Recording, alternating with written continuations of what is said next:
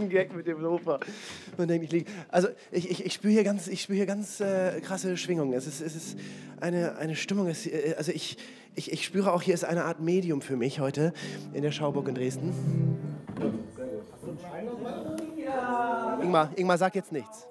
Sag jetzt nichts. Ich, ich spüre, hier ist eine Stimmung. Hier ist eine ganz, ganz besondere Stimmung. Du bist mein Medium. Komm mit, komm mit. Ich habe was vorbereitet. So, hier oben habe ich einen neutralen Raum geschaffen. Das ist ein völlig neutraler Raum, Ingmar. Das ist ein ganz normales MDR-Studio. Nein, das ist, wir sind in der Schauburg, das Kino. Es ist ein Kino eigentlich. Du, Keine Schleichwerbung, ne? Ingmar Stadelmann und ich legen jetzt Wahrsagerkarten. Du musst natürlich ein bisschen, du musst, du musst eine ziehen, ne? Die sind alle, guck mal, was alles Mist.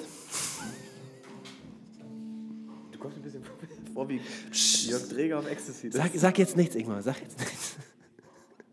Das ist hier eine ganz besondere Stimmung.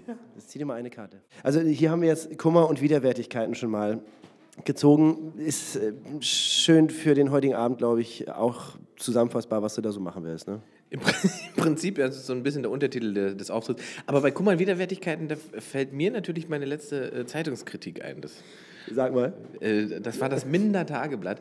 Im Minder Tageblatt stand unter der Überschrift Kritik, Doppelpunkt, Ingmar Stadelmann ist ganz und gar nicht lustig. Also stell mir vor, Menschen, also jetzt mal ohne Quatsch, Menschen richten wirklich ihr Leben nach sowas aus. Wie gruselig ist das denn, Ja. bitte, oder? Bist du jetzt Ja, ich, ich, ich würde auch mal eine ziehen. Oder wir ziehen zwei und wir setzen die dann irgendwie zusammen. Ja, das ist wirklich ein altes Ostgefängnis, glaube ich, ne? Für, für welches Vergehen würdest du ins Gefängnis gehen? Also wa- wa- was würde sozusagen der Preis ist, ist richtig für das, was du dann machen würdest? Ah, das müsste schon, das müsste, also ich müsste sehr überzeugt davon sein. Ja.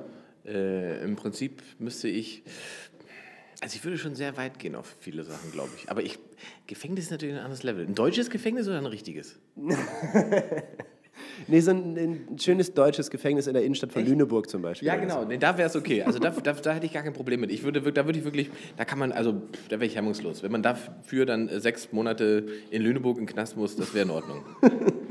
Aber so von der Bühne her, ich würde halt einfach, weiß nicht, ähm, satirische Volksverhetzung machen. So. Und dann mal gucken, was passiert. Und wenn das einer falsch versteht, dann versteht er es ja richtig. Ja. Und dann komme ich in den Knast. Äh, mal sehen, ob wir noch irgendwas Positives finden. Oh, die ist ja wunderschön, die Karte. Guter Ausgang in der Liebe, Ingmar. Liebe kann nicht gut ausgehen. Dann wäre es keine Liebe. Würdest du deshalb lieber mit einer Frau zusammen sein, die du nicht liebst?